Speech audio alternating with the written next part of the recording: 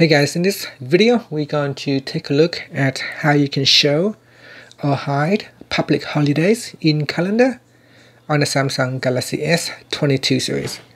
First tap on the home button to go back to the home screen and from the home screen swipe up to go into the app screen.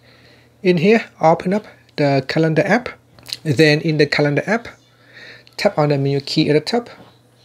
From the pop out expand the Google Calendar. Now, public holidays uh, is not available in your local uh, MyPhone calendar, nor is it available in the Samsung account calendar. So uh, make sure that you have uh, add in Google Calendar. You can do that by tapping on the Manage Calendars down at the bottom and turn on Google Calendars.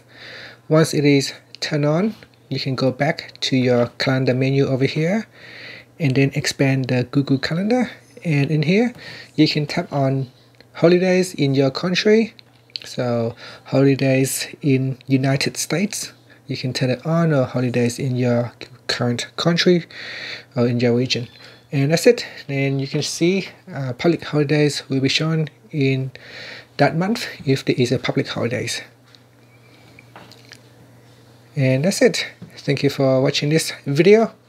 Please subscribe to my channel for more videos